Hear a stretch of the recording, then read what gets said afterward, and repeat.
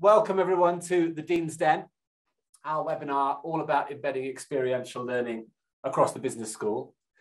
Just before we, we get started, uh, just to sort of say that, well, a few uh, sort of housekeeping parts really, which I'm sure you're used to hearing when you join these sorts of webinars, but we are recording the session. So please be aware that um, yeah, we are recording it, but that's really so that we can provide you afterwards with a copy of the recording link in case you want to recap on anything, but also, of course, for anyone who signed up and wasn't able to make it today. Um, if you have any questions, please put your questions in the chat. We'll try to respond to those as we go on uh, to sort of build those questions into the conversation, but we will also be building in some time towards the end of the session uh, for a sort of dedicated question and answer session as well. So um, feel free to keep your questions to the end or as you go. And uh, my colleague Milo Hendricks will also be uh, sort of responding in the chat uh, as well if, if, you know, if it looks like we can just answer your question very quickly. So we'll get, we'll get started then. Uh, but just a reminder, if you can try and keep your, your microphones muted and your cameras muted as well, that would be great. So as you know, we've done a number of these webinars over the course of 2021. Um, I've hosted, I think, well, we've tried to do one, I think, once every couple of months, and it's been really, really successful. This is the first one of a new series of webinars, which we're calling the Dean's Den. So the idea now is to sort of build upon the foundations of uh, webinars we've, we've already done around experiential learning, gamification, using management simulations, but this time thinking about it in more of a holistic way uh, in terms of how we will take a sort of high level view of embedding experiential learning across the business school. So some of the topics that we'll be talking about today uh, with our guest speaker, which we're delighted to welcome, by the way. Um, welcome, Charles, by the way. Uh, Associate Dean, uh, Academic, uh, Student Experience at the University of Salford. Actually, Charles, before I um, maybe go through some of these topics, and then I'll do an intro on Edumundo as well, before we get into the conversation perhaps if you just want to make, maybe take a moment to introduce yourself, if you like. Uh, hello, I'm Charles Knight. I'm the uh, Associate Dean Academic Student Experience at the Business School. Um, as we go through the session a bit later, do please put me on the spot with um, hard questions. I'll, I'll, when we get into the conversation, um, I'll get into quite a bit of detail of the context of the school and how uh, w- the work we've done with Edumundo fits with the overall philosophy that we have in the school uh, I'm very fortunate to work for a very forward-looking dean, very innovative dean, and I'll talk about that a bit more later. So, as we go through, if there's anything that you you you would like to ask about, kind of how you would embed this kind of thing in your own context, please do ask in the chat, and we'll try and answer it. That's great. Thank you, Charles. And yeah, in terms of some of the things we're hoping to cover today, um, it's going to be great to get to get in the conversation with you, by the way. And we're really, really pleased to have you. But what we're going to hopefully be talking about broadly is, well, strategic aims of using business simulations across the business school, thinking about actually how we, you know, some of the considerations to have a sort of holistic view of this across the business school as well. So in terms of all the different stakeholders that need to be brought into this. Um, thinking around the curriculum as well. So, you know, not just a simulation as an afterthought and a bolt on, but really from the outset, simulation sort of being central to the uh, to the learning. And then, well, success, of course, like with any big project, we need to demonstrate efficacy. So what data we can call upon to really show that things are working. Um, and then we'll be talking a little bit about a partnership approach and specifically um, what we've been doing at, at Salford as well. Okay, well, it, we always find it's quite uh, beneficial to just give a little bit of a background in Edumundo and, well, what we're all about and our approach to simulations. Um, by the way, please could I just remind anyone who's joining a little bit late just to keep your uh, cameras uh, muted if you, uh, if you can and your, uh, your microphones as well. Thank you. Okay. So a little bit about us, just a few minutes. So, well, we've been operating for 20 years, uh, so since 2001, developing management simulations. Uh, so we have a huge amount of expertise in this. It's what we do. We have since sort of geared off into other product lines, but that's still really the core focus of what we do. We have around 40 employees, most of whom are based uh, in our head headquarters in The Hague, but well, we have some who are based like me in the UK and uh, in other parts of the world too. We're truly a global company, so we're working with over 300 universities worldwide and in countries, well, actually we're active in all continents of the world. But in the UK, that's around 40 plus institutions. a mixture of post 92 and Russell Group institutions. And in fact, we, we work with uh, 19 universities in the UK that have the, um, sorry, 19 universities which have business schools which have the, uh, the highly regarded triple accredited status as well. Um, we also work with, with the private sector too. So we work with around um, well, a really high number of corporates supporting their leadership development programs, and in some cases, their talent acquisition programs too. And as you can imagine, well, that's a, a really large number of students we're working with each year. So in terms of our management simulations, we have a very large portfolio of these, and there are some commonalities. So just to sort of say, they're all web-based, they'll work on any device. Uh, you can access them on your smartphone if you like, uh, but of course, it's advisable to have a big screen where possible. Typically, it works like this, that students will be put into teams and they'll take over an existing company, a virtual company, of course, within the simulation, and they will be the new owners of that company, managing the company across a, a number of rounds, uh, which are mapped to each week of study within the semester. Uh, each round or week representing one year of operations in the simulation. The time investment is quite flexible depending on how much time you have available. Uh, and it's customizable, of course, as well. Uh, but importantly, our simulations are all really competitive. So the dynamic nature of the algorithm means that you're not just competing against a computer, but you're directly competing against the other student teams. So where one team perhaps gains some market share and, and, and takes that, they, they, you know, they, they'll directly take that from their competitors. Um, yeah, sorry, you can hear my dog barking in the background, I think. So uh, sorry about that, but he's uh, he's just making himself heard. Okay, well, we also cater for all student levels as well. So um, actually from foundation right through to level seven uh, in the UK. And well, our simulations are highly flexible as well. Uh, well, these are some of the high level things that we often see from using the simulations, but actually this is exactly what we're gonna uh, hopefully hear from you, Charles, as well about is, you know, what is the high level reasons to use a management simulation uh, across the business school? But typically we'll, you know, it's things like uh, engagement, uh, improving the sort of student experience and satisfaction, continuation rates, completion rates, uh, and of course, graduate outcomes.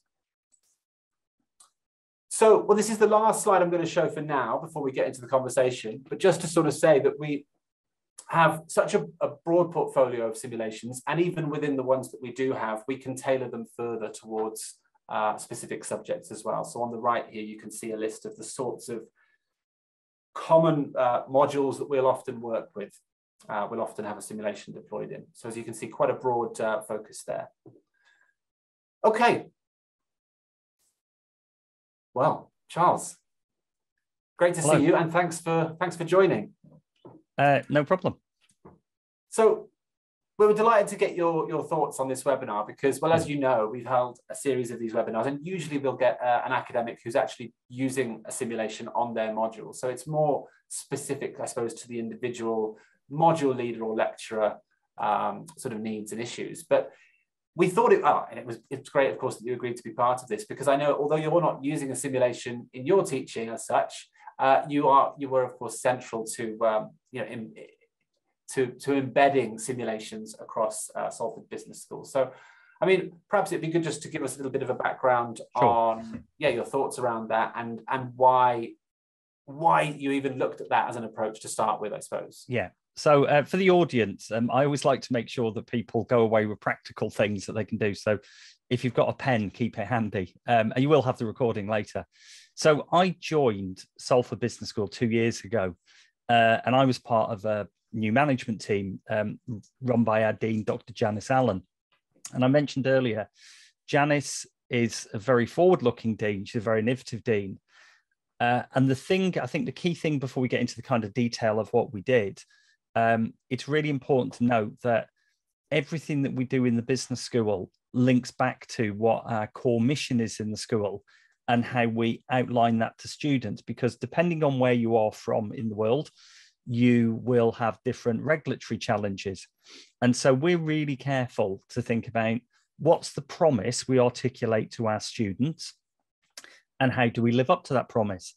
And so our dean, uh, Janice Allen, who I've mentioned, she actually led a very detailed and lengthy cultural debate we had in the school about who are we, what do we do, why, and how do we translate this into a clear articulation to our students? Because that's really important both for recruitment purposes and also for student satisfaction as they move through the university. And so we had this really interesting debate in the school about what does that mean pedagogically for teaching and learning? And then how do we work with partners such as Edumundo to make that happen? So, in brief, what we promise within the business school, and the business school, we're based in Salford. Um, the, the school is a faculty, really. It covers all the areas you'd expect of business and management. We've got digital business, we've got economics. We also, within the business school, we have a law school. So we cover the, a wide range of activities and we go from uh, undergraduate degrees all the way through to PhD. And so when we had this cultural conversation that the Dean led, um, what we decided was that for our taught students, we wanted students to have what we call a deep learning experience, where at each level of their study, they'd have opportunities to work with industry to expand their knowledge and experience. But we also wanted that undergraduate and postgraduate experience to be underpinned by extensive use of data driven simulations, hence our partnership with Edumundo, and, ex- and, immersive experiences. So, the work that we're currently doing with Edumundo on simulations is not a bolt on, and I think that's really important. It's part of a core philosophy that we have in the school. And interestingly, and I'll, I'll probably come back to this later, interestingly, the experience we've had with Edumundo has spurred us on to think about well, how else can we we create data driven simulations in the school? How else can we create kind of immersive experiences? And the reason for all of this is the promise that we make to the students is that we're very upfront with students that our students and graduates will have developed graduate skills and attributes that are in demand by employers. And across all of that we're trying to make sure as much as possible that there's this element of personalization the work that we'll talk about today is part of, of making that promise real. There are all sorts of challenges with embedding simulations in a business school, and we'll get into what some of those are and how to avoid them. But overall, the, the reason we work with Edumundo is that their work is core to the promise that we came up with in the school, which is about making sure that we have this immersive experience, this deep learning experience. So, so, so, and part of that, Charles, as you said, is the offer that you're making to, to students from the outset. Then, mm. so what they're what they're to expect when they come. What does it mean to come to uh, Salford Business School? Uh, what does education look like there? What will they get? And so, and so, actually, it's trying to almost build that in from the outset to the marketing offer to students mm. as well. Yeah, I mean, if we're if we're um, the UK market, I know we've got an international audience. The UK market is a very highly competitive market. Uh, it's also a highly regulated marketplace. So you have to be very clear to, uh, in your marketing material to potential students, you have to be very clear about what you offer. And actually, interestingly, articulating a core promise, this journey the Dean's led us on, has actually really led into that because when you think about how you do your marketing to prospective students, you can say, does it does it clearly link to this articulation of the vision? Then if we are promising students on entry that they will get these opportunities and experiences and it will develop them in these ways then you get into but how do we operationalize that? And so the the, the relationship we we have with Edumundo is really core to that operationalization. One of our promises is that students will learn from real world data and have simulation experiences that will simulate what they do in the workplace because we want to help them develop graduate skills around analytical skills, critical reasoning, the ability to make decisions, and so on and so on. And so, what it does mean, for example, in a recruitment event, we can articulate and visualize to them how that will, will work. People understand gaming, so they understand to an instinctive level how simulations will work. So yeah, it does. It works. It, it works. It works all the way through. Yeah, yeah, absolutely. Well, I mean, I think uh, that, that, that's a big part of it for sure, and I think we're increasingly seeing more now of you know student expectations uh, driving strategy to a certain ex- to a certain extent. Um, and well, that can take many forms, but of course, actually, the, the marketing then is is crucial because actually, if students are seeing something that they expect and something that, that is more tangible, something that's going to be an opportunity for them to apply their theory, to be to have fun in the learning process, and for it to have that real world link from the outset, then it's clear that a lot of students will take that opportunity uh, in terms of driving their choice of what provision that they'd like. Yes, and and I think I think the other core thing to this, which we do we, we make clear in our in our marketing, so the traditional model in the United Kingdom is um, lecture plus seminar, so a, a small seminar, and and so what we're finding in in trying to articulate our promise and make it real is to think about how does that change the nature of what we do in terms of face-to-face in-class delivery. So if we take um, uh, the idea of simulations more generically, so I won't concentrate on any one simulation, what it does mean is it lends itself to thinking really carefully about how you structure that student journey through the academic year. So at the University of Salford, we have for undergraduates two trimesters, and each of those is broken into a 12 week block. And so if we know we're going to use a simulation on a module, we can think really carefully about but what what does that mean for the week to week delivery and something i think that's not talked about very much when people think about embedding simulations is uh, and, and you mentioned this earlier leon you've got to think really carefully about how does that embed itself into your pedagogical practice? How does it embed itself into teaching learning? Otherwise what you may end up doing is you buy a simulation and it's a bolt on that doesn't work in my experience and that's not actually we were entirely upfront with Edumundo from the start. We're not interested in simulations as a kind of nice to have and a bolt on they are core to what we do. And and actually we are um, currently internally discussing how we expand out our use of simulations and how we expand into the use of different types of simulations so yeah it, it's got to fit all the way through well, that's really. Uh, I think that as we're talking about that, then let's let's go sort of down that route a little bit because thinking about simulations as a bolt-on and taking that to its extreme mm. is, I suppose, then thinking about a simulation as like an extracurricular activity. So something that students, of course, can just yeah choose to sign up to if they want. And as we know, and I've, I've been talking about this. Uh, with a few other academics recently, you know, is as we know that if students are given that choice, whilst it's nice, of course, for mm. students to have these extracurricular opportunities, sometimes it can end up, uh, the, the end result can be that those students who we're trying to, to help the most can be the ones that don't end up taking advantage of those, those extracurricular opportunities. So I think that that's one extreme form. And whilst we do support a number mm. of extracurricular yeah.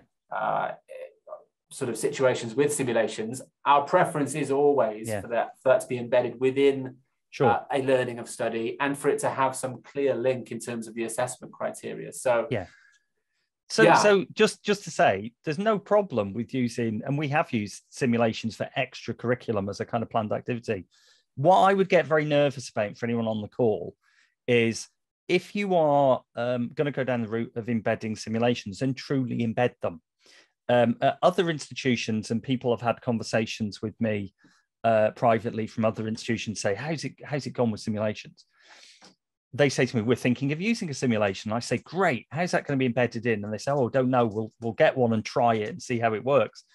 Well, that's not actually a very productive use of your resource as an institution. And also, and I know we're going to talk about this later, what what you really want to do is get buy-in from individual academics who are often driving this to say okay how's this going to make a difference what do we need to change to to maximize the value and if we just go back to students for a minute um, you mentioned about students getting the value the University of Salford, very proudly, is a widening participation institution.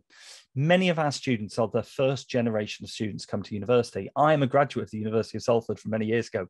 I was the first member of my family to go to university. What's really nice about simulations when you use them in the correct way is what is absolutely core is we want our first generation students to develop career capital. We want that when they leave, they're in a better place to get into a good graduate level job or further study. Simulations are really nice when they're embedded properly because they create the opportunity for your students to develop their own agency. They're not passive recipients of knowledge. And what I mean by that in a very practical way is simulations we use with Ed, Edumundo are round based and they make decisions between rounds. That's agency because you're putting the students in a situation where you're not saying to them, here's the answers. You're saying to them, okay, tell me, what are the decisions you're going to make for the next round? The students then articulate to each other why they're going to make decisions they do. It helps them develop their agency. So for us, it's really good because it's a powerful way to get students who may not be used to having a voice to start thinking about how they articulate their own reasoning. So um, I, I could go on about agency all day, but it's it's as a pedagogical tool, it can be really really powerful if embedded in the correct way. No, absolutely, and uh, well, yeah, and I suppose sort of extending on from agency mm. as well is, is of course self, self-directed to an extent as well although they're with their peers so it's peer-based learning it's also actually encouraging them to take control of their own learning and choose for themselves actually you know it's not it's not a case of this is the right answer this mm. is the wrong answer it's very much actually well there is no necessarily there is not necessarily one right answer so it's about them discussing with their teammates and trying to work out for themselves where you know the, the, the right answers should be or, or why something is the right approach. Yeah. Um, yeah. So I think there's there's an element of that for sure. And um, and I think tied to that as well is, and you've mentioned this. I think for anyone on here who who is considering the simulation route, the other thing to think really carefully about is so you're going to embed it in your courses of study. And Leon mentioned how is it going to be linked to the assessment? Because one of the conversations that we had with Edumundo when we went down this road was okay, if we embed simulations into this module, this module, and this module, and we thought really carefully about mapping it at different levels. So there was a different range of skills developed. Think really carefully about what does that mean for the assessment on that module? Is it going to be uh, an assessment which, for example, is more heavily reflective, where students reflect on the decisions they've made through the simulation? Is the simulate is the assessment going to take a different form? But you need to think really carefully about all of those different stages. How are we going to maximize value? Because the other side of this, which I haven't really mentioned, um, if you embed this in the correct way and it's really clear to students what's going on, then you can have very positive and powerful impacts on attendance. And when you have impacts on attendance and students attend, all of the evidence, pedagogical evidence, all the evidence we know from government bodies, the more students are to attend, the more likely they are to embed themselves with the community, the university, and the more likely they are to do well. So do do think really carefully about how is this going to be how is this going to be through the core of this module or course, depending on the language you use. Yeah, and, and those things, of course, then lead back to those high level things about continuation, completion, and of yeah. course, well, graduate employment as well. So it's all linked, isn't it? But absolutely, attendance uh, is, a, is a good starter, isn't it? To sort, sort, of, sort of getting towards good engagement. Um, I think another thing as well, Charles, is, is actually, and you mentioned Salford Business School, or Salford University, hmm. um, having quite high levels of sort of students coming from widening access, widening yes. participation backgrounds. But I suppose one of the great things about simulations as well is in, in contrast to sort of more traditional forms of, of learning as well, it's, it's helping students to make those links in terms of um, finding the relevance and the context to what the theory means, because yes. sometimes that can be quite inaccessible for students to just come in their first, uh, you know, first weeks at university to sit in a lecture theatre and to be sort of taught this theory. Well, actually, it's working out yeah. what that means and why it's important and where it sits. So trying to find something tangible that students can relate to i think is really important. Absolutely. So uh, another thing that that ties to our use of simulations which is uh, a kind of wider point that some of you may be um, thinking about at the moment. You've hit upon something actually leon which is many students when they first come to university it's a really bewildering experience. It's a very strange place for them if they've come in the United Kingdom from a college experience, it's a it's a much more on rails experience in university where they're expected to have more independence. So one of the other things we've done in the business school alongside simulations, but helps to make simulations work. All of our undergraduate business and management students, when they first join us, only do now one module. they do one immersive module. It's a four week block module. It's the only things that they do. And the reason for this is it's to help them in a very controlled environment make that transition into higher education and to understand the language of higher education and to understand the kind of society and culture of the university they're joining. And what that means is when they then move on to their next modules, which may involve simulations, the kind of how does university work fades into the background and they can um, get involved in the kind of things that Leon's mentioned, the kind of higher reasoning and contextual things. And the other thing I've mentioned about simulations, which I think is really interesting, because I've talked to a number of students, simulations to me, in a very nice way, are an intellectual trap.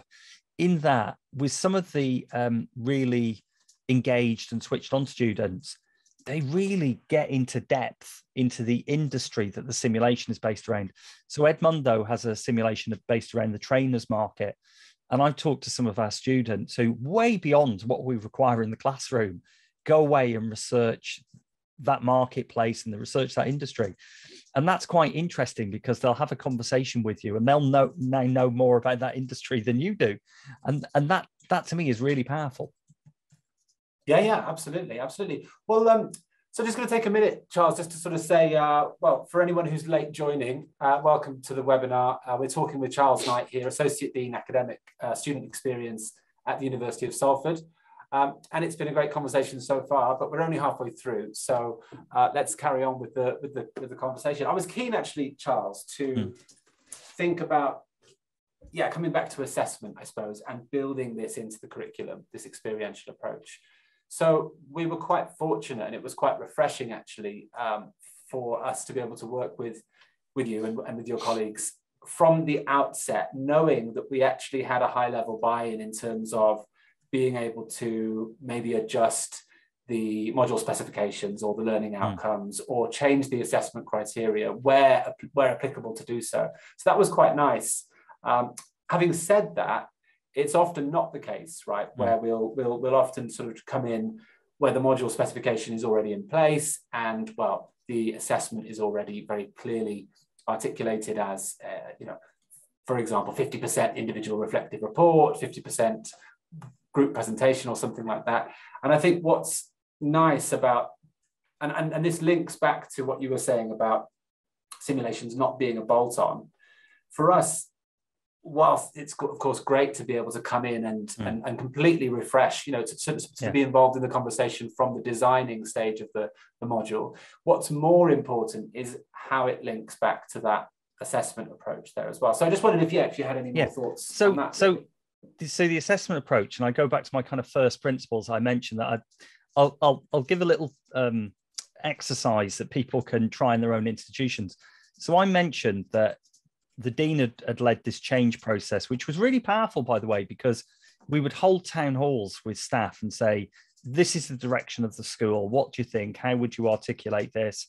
And staff members, professional services staff, academic staff would be involved. And if you remember at the start, I said we wanted this deep learning experience. We wanted to use data driven simulations because the end point, we wanted students to have graduate skills and attributes that employers wanted. And one of the things we did, a really simple mapping exercise that I recommend to all of you is if you are, uh, as an institution or as a business school or other type of school, saying all of our students will have a chance to work in, with an industry partner, or you're saying um, all of our students will have an opportunity to do a data driven simulation.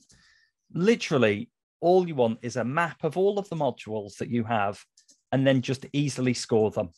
And so for us, I scored all of ours and said, okay, every module that has a chance to work with industry, I'll give a one and turn green.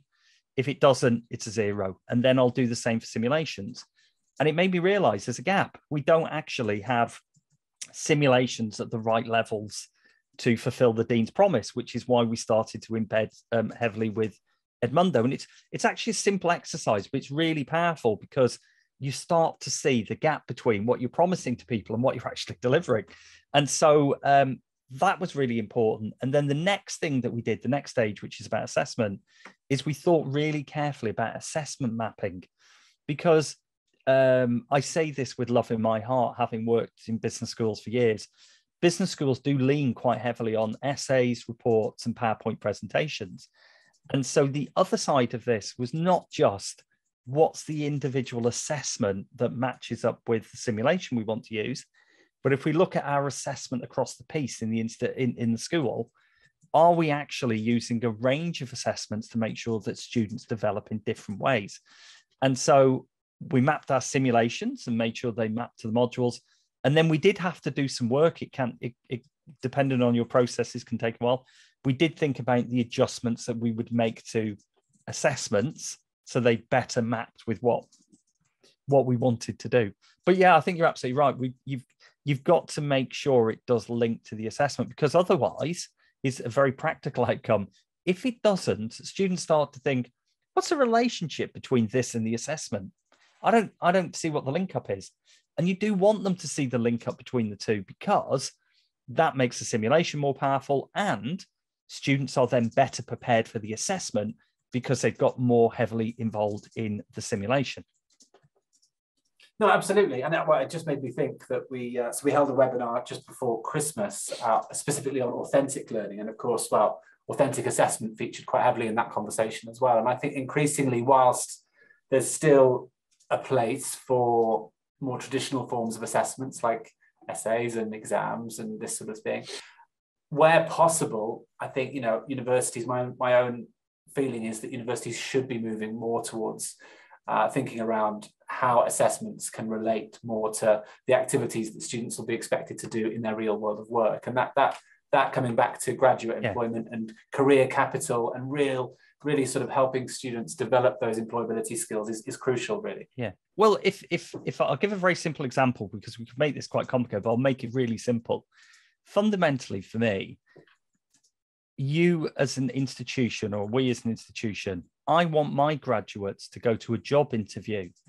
And when they're put on the spot by a graduate interviewer who says to them, okay, tell me, tell me, tell me about a project that you did.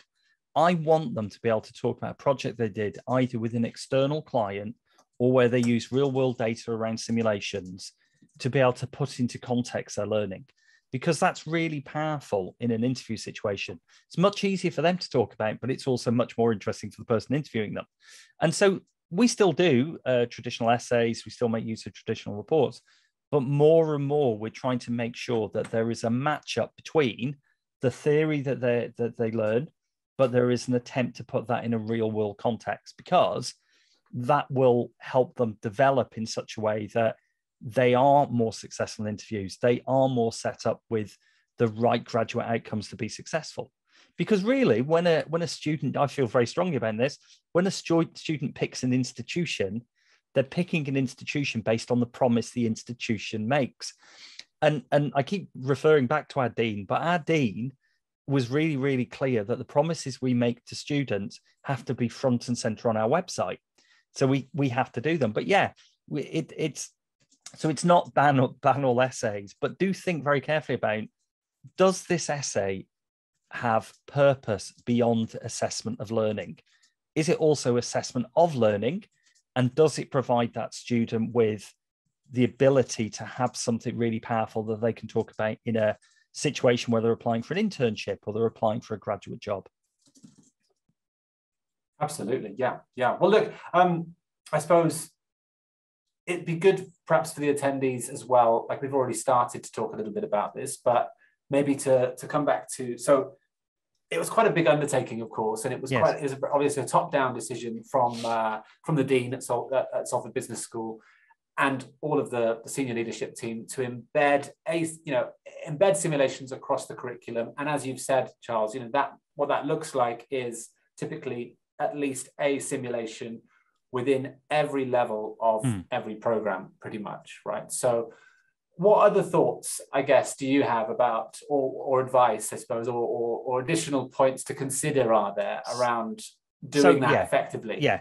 So, there's two different ways to do this. Obviously, one way this often happens um, in an institution uh, an individual academic, maybe teaching a module, a core module, let's say it's a large strategy module, it's got 400 people, uh, thinking, how can I make this more effective? And they decide that they would like to investigate embedding a simulation. And they make a case to their school the school agrees with the case and pays for the simulation, and that's fine, and they embed it. Where we were top down is simply in the sense that we articulated a clear vision that we worked with colleagues in the school to develop. So it was it wasn't top down in the sense we literally just said to staff, "This is what's happening." There was discussion. The the next bit, which is really critical, is if you go on this journey, it's then saying to staff, "Who's going to be in the first wave? Who's going to be in the first wave of embedding simulations?" Because just taking Edumundo as a partner, because they have a range of simulations, it wasn't that we started from a position of saying, well, we'll take that simulation, that simulation, that simulation, and staff just have to agree to use them. It was saying, okay, this is the range of simulations that Edumundo have. Who would like to be involved in the first wave? And if so, what simulations do you think fit? Then obviously we had to make sure there were no clashes, but that was um, that was really powerful. And what was really powerful about it as well is I've got some colleagues, and they won't mind me saying this. I had a colleague um, um, who we got involved in the first wave of simulations, and he was kind of a bit, I want to try this, but what if it doesn't work? You know, what am I going to do? And we said, look, if it doesn't work, that's not your fault.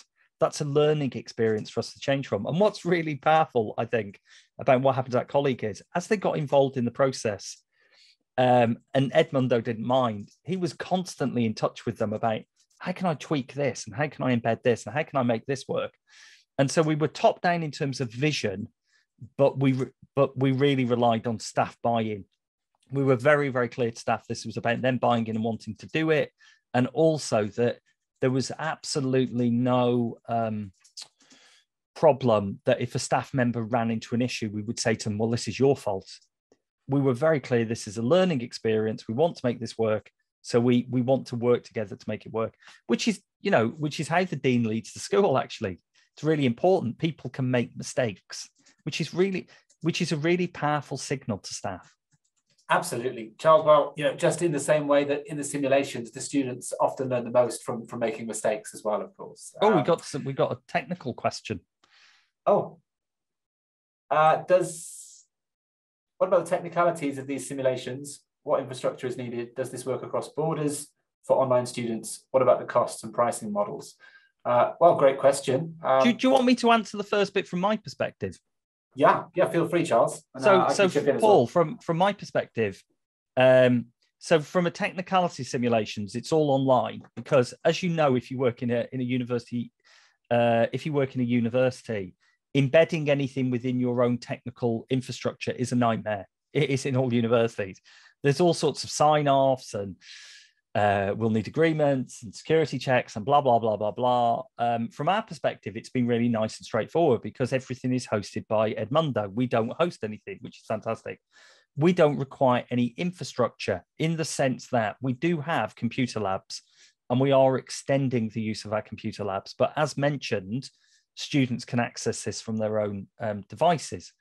And um, so f- from us, the embedding, the technical side, the embedding is straightforward, much more straightforward than having to deal with.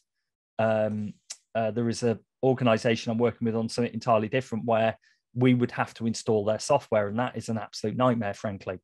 It's all very nice, straightforward from us. There's no real technical, so we can concentrate on the um, pedagogical. The working across borders. Um, we have had during the COVID period students who have gone um, to home and so forth when we were teaching online, and we've never had any issues about delivery with online students, as it were. Costing and pricing models. Uh, I'm a customer. I don't. I don't. I, I, don't get into that.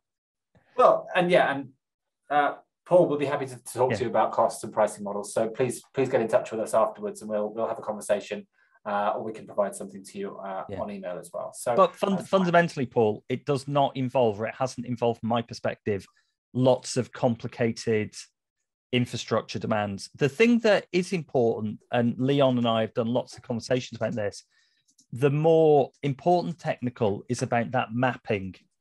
If you're going to use lots of simulations, you have to think really carefully at the outset about if we use this simulation at level four, so in the United Kingdom first year, that does mean we can't use it at level five and six with the same group of students. So you do have to think about really carefully about the mapping and the student journey. Because what you don't want is a student to undertake a simulation at one level and then potentially they do an optional module at level six with the same simulation. So, really, a lot of it's about the mapping. And then the other side of it as well is just thinking really carefully in terms of volume. Uh, so, we had to think really carefully about thinking about the overall number of licenses that we wanted. Uh, and we judged that pretty successfully. So, we worked out the modules worked out number of licenses and, and went from there. But it, it was a two-way dialogue all the way through, which has been really helpful. And Edumundo were very good. I'm, I'm going to shock some of you. Academics can be a bit slow at remi- uh, responding to emails occasionally. Edumundo have always been really good at saying, actually, we do need this bit of information. If you can supply it this week, it's really handy because we can make sure things are uh, set up. No, absolutely. And I think, Charles, just to add to that is, you know, taking that holistic view of not just the individual modules in isolation where the simulations are to be embedded, but also, as you say, thinking about the coherency across the levels of study across each program as well. And as you say, things like making sure that the same simulation isn't isn't done by the same students at a different level, but also more than that. So thinking about making sure that students in the next year of study go into a, a deeper level of, of, of, understanding and applying the theories so that it's a perhaps a more basic simulation in at level four first year or and then and then at level six of course a more complex one. Um, but yeah just to, so just to, just to say thanks paul uh, for your question there and to say as well that we do have many courses that we support which are wholly online and yeah. international as well so with students in different time zones all competing online, so with no physically uh, physical coming together at all. Yeah. So, so there is another question, if you don't mind, I'll I'll I'll take, which I think is a really interesting one, which is um, Roger's asked, how realistic and relevant simulations? How realistic do they need to be? It's a good question, Roger, and there's a couple of different answers to that. So, as I've mentioned, we go from um, level three, UK level three, which is basically a foundation or precursor to a degree all the way through to level seven masters. And so the simulations, uh, the, the realistic and relevance actually, you can kind of tweak upwards and downwards in the sense that our level four students, our first year undergraduates, we're trying to get them to understand core concepts. And so the, the course that's wrapped around the use of those simulations is to try to get them to understand how core concepts relate to the marketplace when you get all the way up to level seven, when you talk about uh, realistic, what you what you can actually do if you if you want to do this, you're not required to. You can actually use the simulations in a kind of um, metacognition way, in the sense that, or metacritique, in that you can get students to apply theoretical concepts and bring in other real world data sources from elsewhere to say, does this match up what we did expect to see in the marketplace? And um, get the students into some quite technical conversations, depending on their area, about how the simulation itself matches up to what they would expect to see in the marketplace. And so there's a question for the academic who's teaching the module or the course, as you might call it, to think about how they deal with those questions. So you can you can, from our perspective and talking to students though, they're they're what I'd say is they're realistic enough uh, especially at, at, levels four, five, and six, where our students are trying to get their heads around concepts. Okay, thanks, Charles. And um, yeah, thanks, Roger, for your question there. I'm just looking at another question from Caroline. Uh, I'm not totally sure I understand uh, your question, Caroline, but I'll, I'll try and give it a go anyway. I think I think you're asking more about the sort of administration of uh, how we register the students, the details that we'll need, and how do we use that, how do we process that data um, and link it to the virtual learning environment. So those are some quite specific questions, uh, if I've understood correctly, but I'll, I'll just give it a quick uh, sort of summary now. What we tend to do is we tend to first, of course, consult with the individual module leader on exactly the number of students that you have, the size of each team, the number of markets that you'd like, and then we do all the setup for you. We'll then provide you with a, a number of login details uh, where you'll have a specific login detail for each group, uh, which you then pass on to the individual's group. In that sense, we don't need to be given the students' uh, data. So from a sort of data privacy, um, data protection viewpoint, uh, that makes it a lot easier for the university to get started. Um, as I say, I'm not sure if I fully answered your question there, but um, feel free to. Uh, uh, oh, having used a simulation as an embedded data set, I found it efficient to use the data easily from the LMS. So, um, if I can give a slightly different answer to that, Caroline. So, we use Blackboard as a platform. Uh, Black, Blackboard itself has all sorts of learning analytics in it. So, what we've tended to do is we use a mixture of obviously Edumundo knows who's registered for the simulation on their platform. We triangulate. There's a whole different talk I can do if anybody wants to come and invite me to do it. We triangulate that with data that we get from attendance data. And also we there's a toolkit that we use in Blackboard called Blackboard Analytics that gives us information about how they um, interact with the LMS.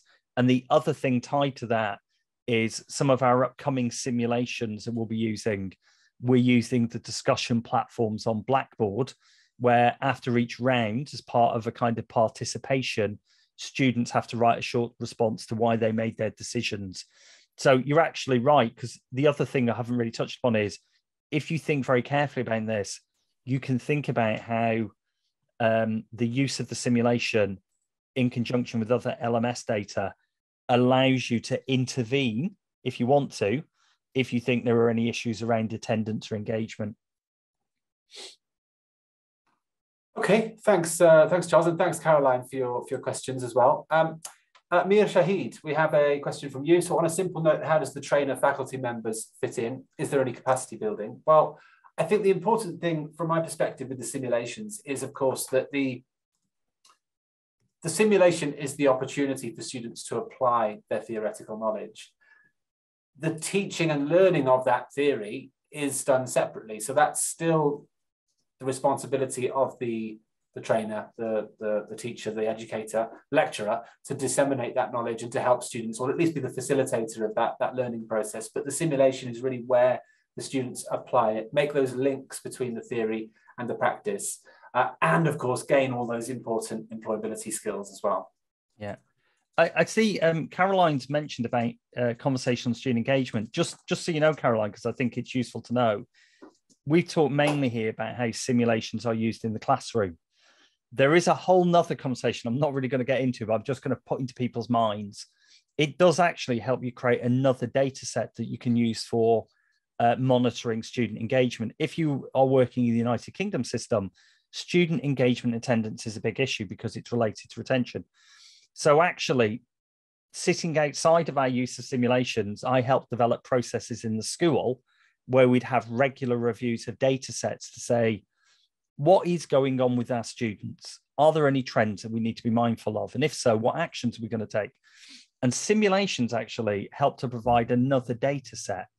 And we pick up as well, because we do module reviews at the end of the modules, we've got data on there about what's the what's the difference it's made to the student experience from a module perspective and what's the commentary that students have give us qualitative commentary about how simulations have changed their experience so yeah you can there's all sorts of ways that you can embed this into a wider conversation about how do we use this to keep on top of are we providing that really high quality experience for students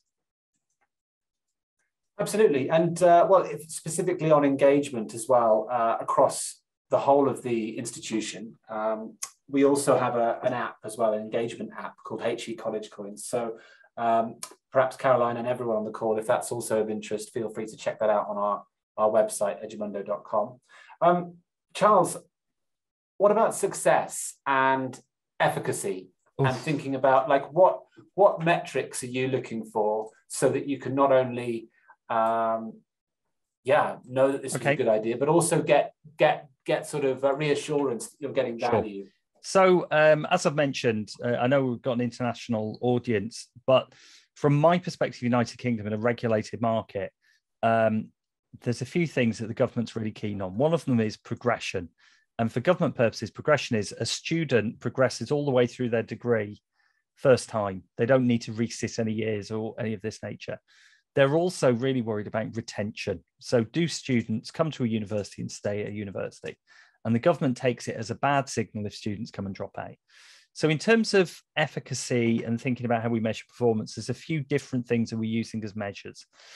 the first one is we we are doing some work doing some direct comparison between the individual modules that have simulations and comparing them year on year with previous years. And we're comparing things such as um, marks, average marks. We're looking at submission rates. What's the submission rate to previous years? And also, we're looking at, we have a new attendance system actually at the university. We're also looking at the impact potentially on attendance.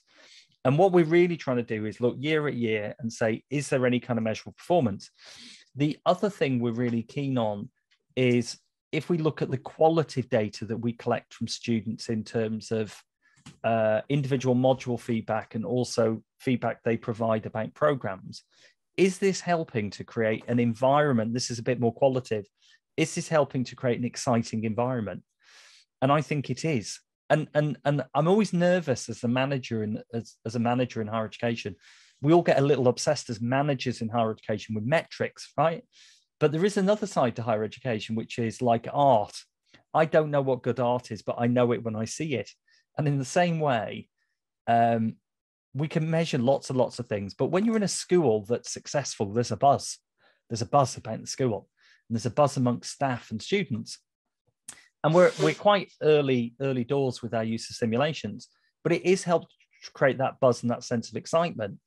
Um, so there's the metric side, which I've mentioned. Um, but there's also a more qualitative side and a bit of an investigation with staff and students. Because don't forget the staff side of this. For some staff, this creates a new experience for staff members, and that creates a sense of enthusiasm that then transmits to the students. So there is the metrics I've mentioned that we're looking at and we're thinking about does it improve year on year from previous runs of modules? But don't miss out on the qualitative side, which is harder to justify to senior leaders in the institution, but you know yourself if you're going to directly teach a module or if you're involved in the management of modules is really important as well. No, absolutely, yeah. So it's the numbers are important, of course, but it's not just the numbers. It's it's the story yeah. behind the numbers as well, isn't it? Of course. The, the numbers. No. The only thing I'll say about numbers, though, so the numbers do look good because remember, if you're going to get into having simulations, then you're either going to build them into your yearly budget, or you're going to make a yearly justification to the institution about why you need to continue to use simulations. And, and so for us, that case looks like we'll be able to we'll be able to make that case very strongly. Absolutely. Well, that's great to hear, of course. Um, by the way, on your points about like those high level uh, issues, which of course are not just specific to business schools, but to all of the faculties across mm. the university. So things like uh, continuation rates yeah. beyond the first six months yeah. and also progression into graduate employment.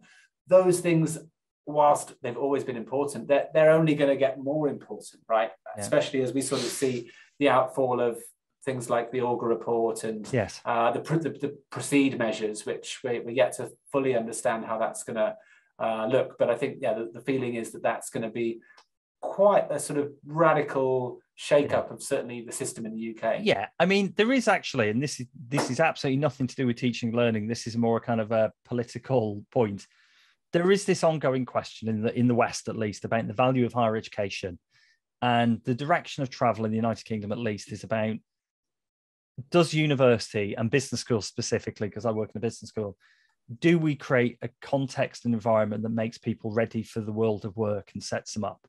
And for me, simulations actually are a really good way to evidence that. And there's something actually that are translatable, people outside an institution understand. So when you talk to parents and say, well, your son or daughter will be doing simulations using market data and they'll have to make decisions about how they run their company, that makes sense to people. So there is actually a slight political dimension. Yeah, yeah, okay, absolutely. Um, uh, Caroline, I can see you. I'm not sure if that's a question or um, a comment, but uh, I'll take it that that's just a comment. But um, thank you for your input, Caroline. It's been great to see your getting involved in the in the chat here. And by the way, anyone else, uh, you're more than welcome to put some questions in the chat here. So uh, we did say we'd leave some dedicated time for question and answers, uh, but as we've already sort of received hmm. a few questions, I've just taken it that that's already happening. So please feel free to um, yeah to put any more questions in if anyone else would like to get involved. Okay.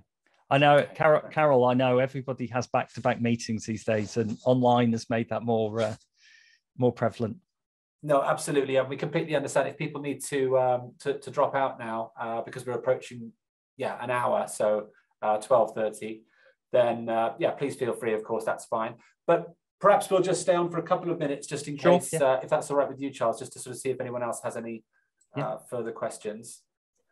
And um, and if if yeah. I'll just I'll just make the offer as well. If anyone wants to talk to me in more detail about any aspects of that, please get in touch with Edumundo. I'm always happy to talk to people. I, have got there's a, there's a, a question from um, Ifat Rasul here about how case study is different from simulation. Uh, perhaps I'll take that, Charles, and yeah, sure. Um, well, feel free to add as well. Yeah, that's a really good question. It's one. It's something I talk about a lot with academics. So I think case studies are great, and we're we're a big fan of case studies because, of course, it's about that context and relevance again to the management frameworks or you know the strategic theory. Um, but case studies can be quite difficult to put together, and you're often dealing with information which isn't wholly available in the public domain. Um, when it relates to a real corporation, perhaps you don't really know what was behind all of those decisions as to why that, that company made those decisions. So I think that's one thing. So in that sense, the simulation provides all of that data for you, all ready to go. But it also goes a step further because it allows the students to be at the heart of that decision-making process and to be part of it. And in that sense, it's like a live, moving case study, a real life case study.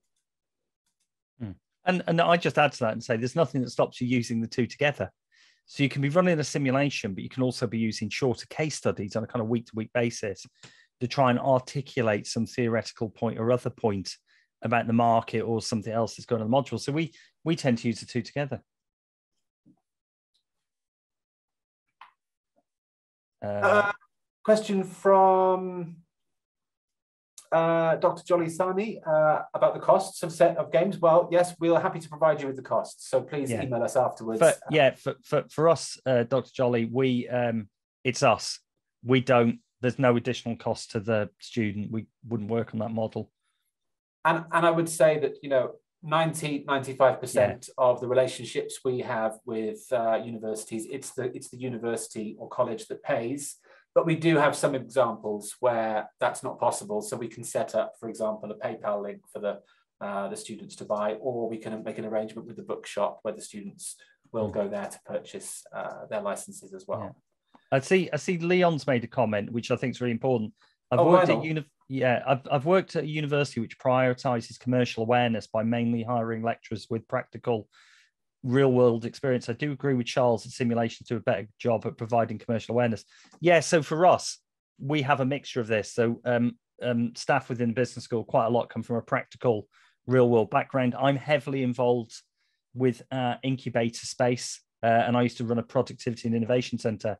So our simulations are part of an overall strategy where we try and make sure in other modules students are getting interaction with external partners or doing internships or working with them on a, a, a project. Okay. Okay. All right. Um, so I think yeah, there's quite a few people dropping out now, but that's that's fine. And maybe we'll sort of draw things yes. to a close. Um, yeah, I mean, I think it's uh, it's been an interesting uh, collaboration so far, and we're looking to obviously, yeah, to um, extending on the, the relationship and continuing to provide uh, value.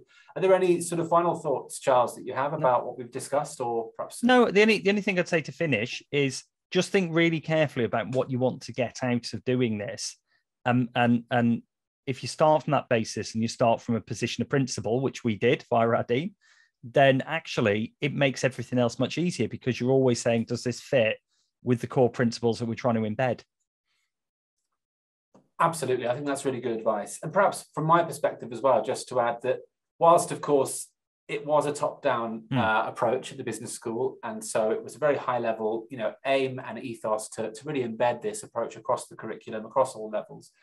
What, having said that, once we'd made that uh, agreement uh, to start, that that was really when the hard work really started. Mm. And so, of yes. course, that wasn't a case of then there you go. There's uh, there's there's a load of codes. It was, of course, then a, a, whole series of individual consultations with individual academics, with module leaders, a whole series of meetings to try to um, ask questions about how it should be taught on each module, about any customizations we should make to the specific modules, thinking about the programs, but also reviewing the individual module specifications as well and how we'll match things to the certain learning outcomes. So I think whilst, of course, yes, the high level approach is great, it needs to be in conjunction still with those local uh, conversations at a module and a program level too. Yeah.